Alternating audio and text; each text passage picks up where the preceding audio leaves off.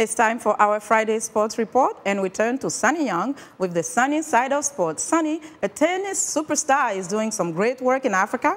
Great work indeed, Lenore, and sporty greetings once again to our Africa 54 viewers. I'm twirling my trusty Wilson racket for Roger Federer, the Swiss star who's been described as the greatest men's tennis player of all time. Federer made his first visit to Malawi this week. He cut the ribbon and earned cheers in M'bwetu, where his foundation supports a preschool. The children tousled the tennis star's hair. Federer played with the Malawian children and helped cook and serve them lunch. His foundation has raised millions of dollars for preschools in the Southern Africa region. Roger established the foundation in 2003 to help poor African children and provide them with an education. Federer traveled to Malawi after losing to Novak Djokovic in the Wimbledon final July 12th.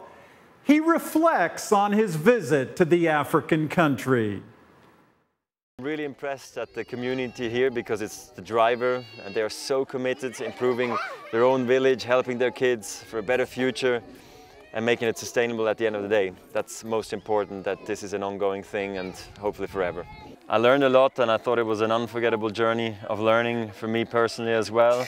I feel like the kids are having a great time. It's so inspiring and motivating every time I come to a beautiful country like Malawi this time. It's my first time here.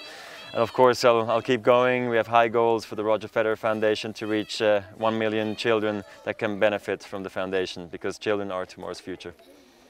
Roger Federer and his wife, Mirka, herself a former professional tennis player, have four children of their own. Mirka gave birth to twin girls in 2009, and last year she gave birth to twin boys.